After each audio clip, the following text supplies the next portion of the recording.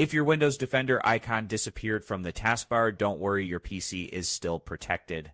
The icon might just be hidden or disabled, and in this video, I will show you how to bring it back step by step. First, click the little arrow on the right side of your taskbar. This shows hidden icons. If you see the shield icon there, just drag it down to the taskbar to keep it always visible. But if it's not there at all, let's go to Settings to turn it back on.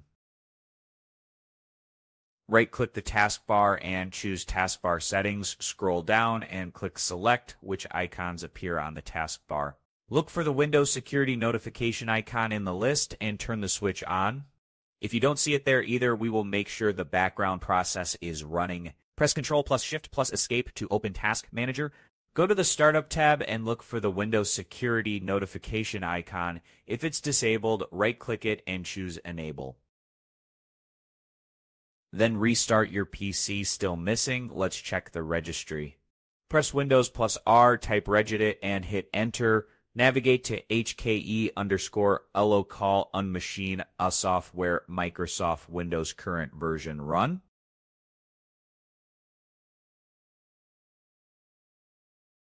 Look on the right side for a value named Security Health. If it's missing, right-click, choose New, String Value, and name it Security Health. Double-click it, and in the value data, paste this path, C program file Windows Defender MSASCuiL.exe. Click OK, close everything, and restart your computer. Now the icon should show up properly in your taskbar, one more thing, make sure Windows Defender itself is working. Go to Start, type Windows Security, and open the app. If everything looks fine and protection is on, you're good to go. If it's still missing after all that, you might want to check for system updates or run System File Checker using sfc slash scannow.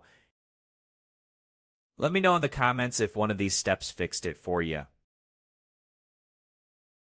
And if this video helped you, give it a like, subscribe, and don't forget to turn on the bell for more helpful Windows fixes. Thanks for watching, and I will see you in the next one.